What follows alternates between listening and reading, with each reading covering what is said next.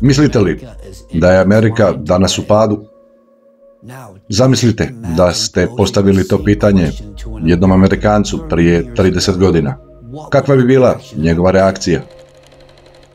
Naša istraga je započela 1993. godine, kada smo u međunarodnom informacionom prostoru počeli da otkrivamo tragove obavještajnih i operativnih aktivnosti, karakterističnih za jednu izuzetno opasnu organizaciju za koju smo smatrali da je već ugašena.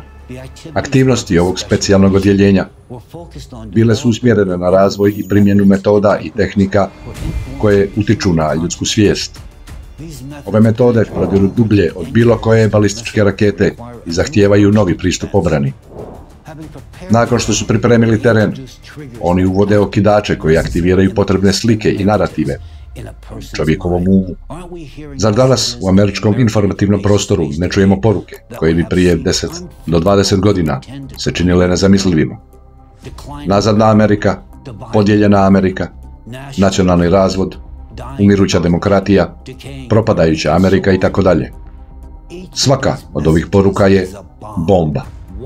Šta se desilo nama Amerikancima? Šta se desilo sa našim razmišljanjem? Kada i kako smo postali zagovornici propadanja Amerike umjesto njenog veličanja? Oni rade tajno, pred nosom globalnih obavještajnih službi.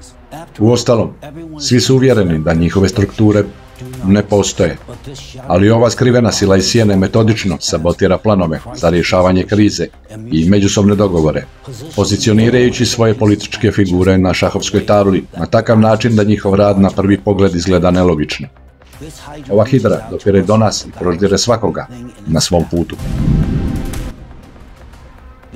Pripremili su šampanjac i kristalne čaše da popiju čast pobjede njihovoj osveti.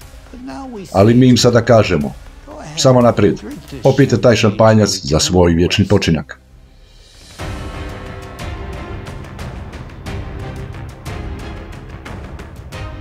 Moji sugrađani Amerikanci, dolazim vam danas ne samo kao stručnjak za obavještajne službe, već i kao sugrađanin ove velike nacije. Demokratija nije ustanovljena samo u dokumentima. Ona živi u duši svakog građanina Sjedinjenih država.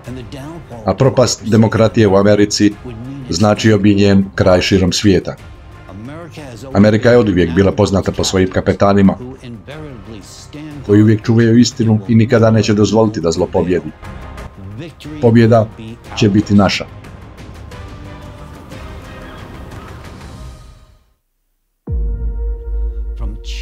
Od djece do staraca. Svi smo već u ratu. Mi smo na prvoj liniji fronta, a ovaj front je u mislima svakog građanina.